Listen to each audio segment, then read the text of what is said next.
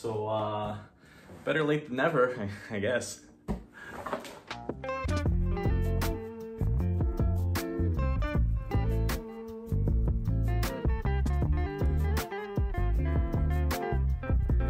How's it going everyone? Welcome back to the channel. My name is Gianluca and I am a final year medical student studying in Canada. I'm also probably one of the least technologically savvy people to have ever been born in the late 90s. And don't get me wrong, of course I use my laptop for things like managing social media, doing my schoolwork, doing research, but whenever I have the opportunity to, I always choose to handwrite my notes and I actually prefer that over using my laptop. So I've never really had a need for an expensive computer setup before or a monitor. That all changed the last few weeks. I'm sure some of you guys have heard about just how time consuming the paperwork side of medicine could be, but for these last few weeks when I was on psychiatry, no word of a lie, I was doing for anywhere between two and four hours per night, and I would need to do it on just a single laptop setting, which means I'd have to look up patient's information, minimize the window, dictate it, look back at previous notes. I can't do it anymore. It's wasting way too much time, and this career is all about longevity. So what we're gonna be doing today, finally, is putting together a professional YouTube quality desktop setup on a student budget. Hopefully this helps give you guys some ideas of what you need when you put together your own desktop setup on whatever budget you have. So the first item on the list is going to be the mouse pad. And for the mouse pad, I chose to go with a large one over the smaller ones. This is more of the video game aesthetic, but I love the way that it looks. It was only $20 on Amazon and it's the map of the world design. There's a few different ones. I haven't been doing any traveling at all lately. Just looking at this and trying to plan out future adventures for when I am able to start traveling a little bit more really has me excited. And I also really like the white on black aesthetic with a little bit of the red down in the center here.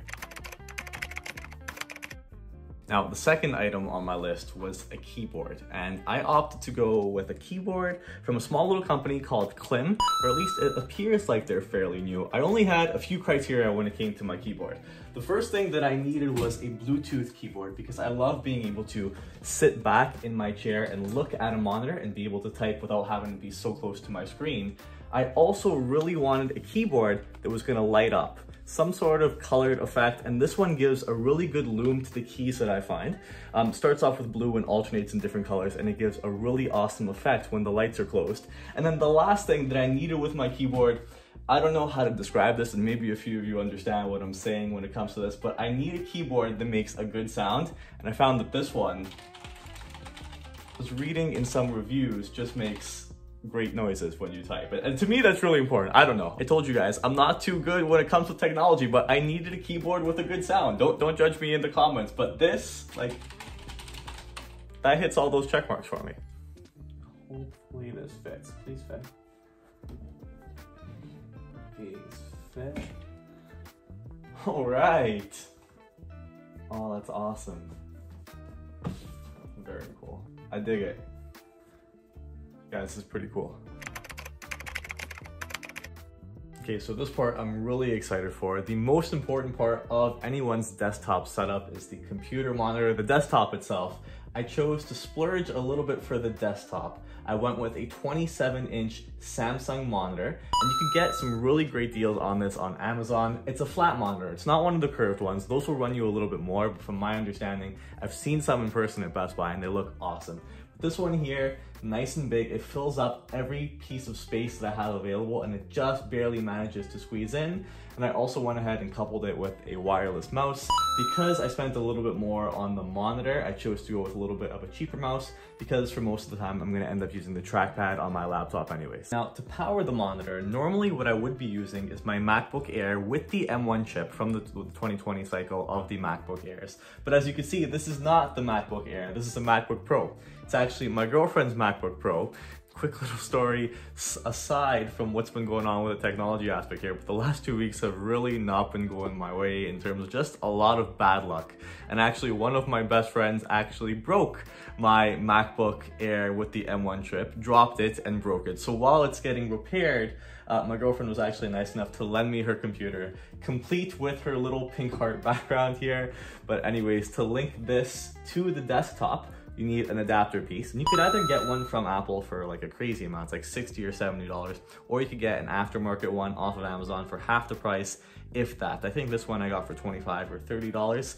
And it has the two little chips plugged in that allow me to connect Bluetooth from my keyboard and my mouse. Um, and you would just connect this and attach the desktop component uh, with an HDMI cord that comes with the desktop itself. So what I think is really cool about the MacBook desktop setups, and I think a lot of people don't know this probably, is that number one, when you have the laptop open and the screen open, you could toggle back and forth really easily. You could just grab windows and throw them up on here. And that is what's really awesome about doing consult notes and dictations when you're in medical school and when you're working as a doctor. You could have your patient's information open here from your previous notes while writing the new note here. But the other really cool thing is that if you keep your MacBook plugged in and you close the screen, then this now becomes your primary monitor, even though this is still on here.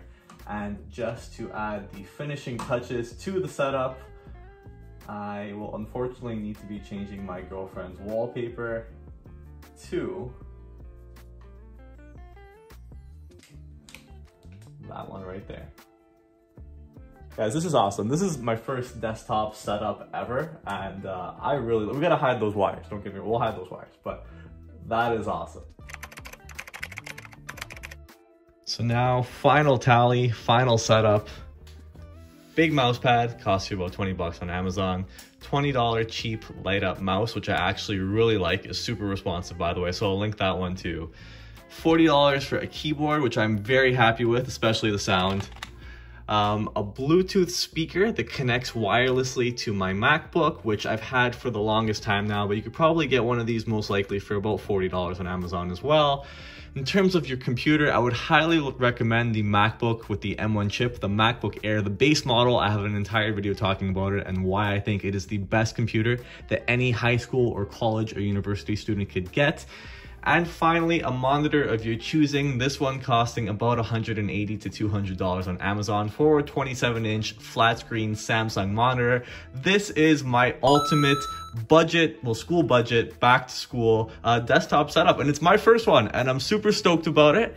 And today is September 16th. So the GoPro Hero 10 was just announced. And this is what the commercial looks like on my setup.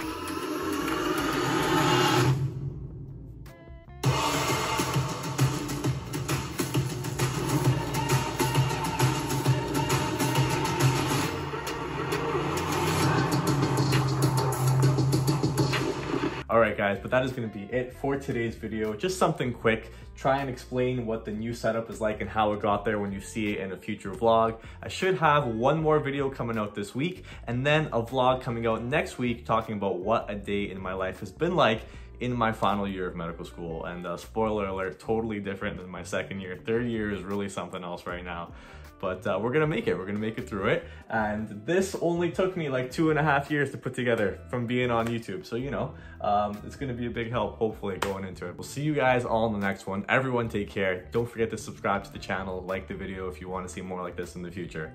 And uh, until next time.